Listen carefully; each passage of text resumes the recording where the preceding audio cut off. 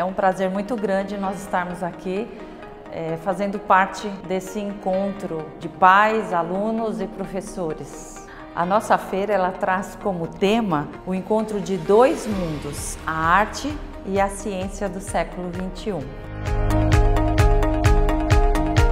Trabalhar na feira acho que foi algo muito interessante. Além de unir nossa sala, é, despertou muito interesse na gente do sétimo A. E foi super legal desenvolver o tema sustentabilidade para a feira. A parte legal de trabalhar com os amigos é todas, né? Os amigos ajudam a você a pensar. Quando você está com alguma dúvida, ninguém vai te julgar, falar, ah, você não consegue, ah, apresentar. Eles falam que você pode melhorar para ajudar, né? Posso falar que é uma experiência muito interessante.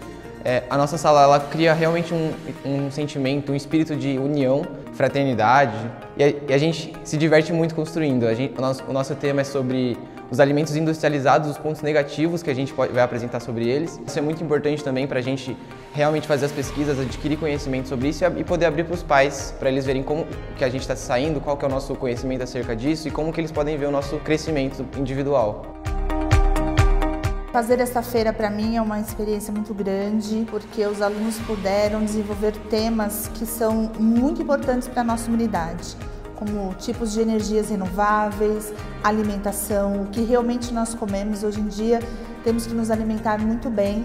Além disso, nós temos a integração dos alunos do ensino médio com o Fundamental 2, aonde eles se interessam um pelo tema do outro e tem muito mais coisas aí para vocês conhecerem e aproveitem os temas desenvolvidos pelos nossos alunos do Colégio Davina Gasparini.